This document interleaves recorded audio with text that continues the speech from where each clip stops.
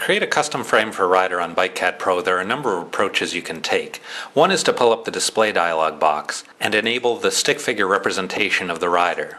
You can use the rider anatomy dialog box to control a comprehensive array of dimension related to that stick figure. You can control things like the lower leg length, the upper leg length, and so on. Now, Taking this approach can be fairly time consuming, so some prefer to use the Fit Advisor. The Fit Advisor allows us to take six basic body dimensions of the rider rather than the 16 required by the rider anatomy dialog box. You can customize the Fit Advisor to include as many fit schemes as you want. Here in this example, we have a fit scheme for cyclocross, mountain bike, road, time trial. You can come up with your own fit schemes and you can make the categories as narrow as you like. You can also customize the measuring scheme that we see here. Instead of this dimensioning scheme, you could use this scheme, or this scheme, or not even base it off body dimensions at all. You could base it off of the readings from a size cycle. But I'll cover that later when I talk about customizing the Fit Advisor. But let's just use the defaults for now, and note that in these fields here we have all the measurements that we've taken from the rider. We can take those measurements in either inches or millimeters. For demonstration purposes, I'm going to make the rider really tall, 7 feet 9 inches in fact. And as for the other dimensions, the height of the sternal notch, the inseam, the arm length, etc., I'm actually just going to disable those measurements, allowing BikeCAD to approximate the values for me. This isn't going to result in the best fit, but it will speed up this demonstration.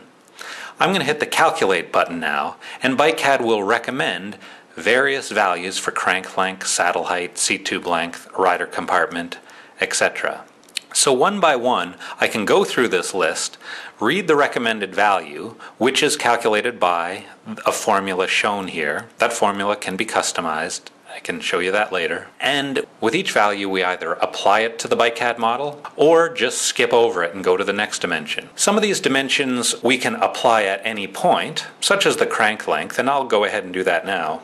For this giant 7 foot 9 inch rider, BikeCAD is recommending a giant pair of cranks. So we'll apply those giant cranks now, as you can see. The saddle height, BikeCAD recommends a saddle height of 960 millimeters. So we'll apply that to BikeCAD. Now, the representation of the rider that we have on the bike right now is not set to represent a 7 foot 9 inch rider. In order to do that, we'll have to go to the rider anatomy tab and apply those settings to BikeCAD. So now we have a very large rider sitting on a fairly small bike with the seat jacked right up.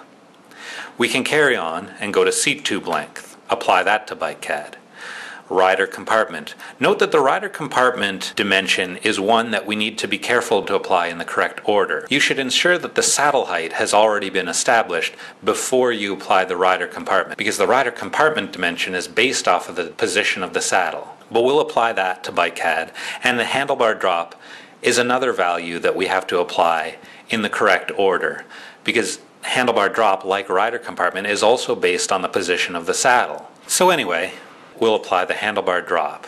Now in doing so, we've basically come up with a good fit for this 7 foot 9 inch rider. Another note about handlebar drop is that handlebar drop is a very personal dimension that a lot of riders are going to have differing preferences for. In consideration of this fact, you might consider setting up more narrowly defined fit schemes, such as not just a road fit scheme, but say an elite road fit scheme or a recreational road fit scheme because all of these riders are going to likely have differing preferences for handlebar drop and other values. That's just a basic demonstration of the Fit Advisor and creating a custom frame for a rider on BikeCAD Pro.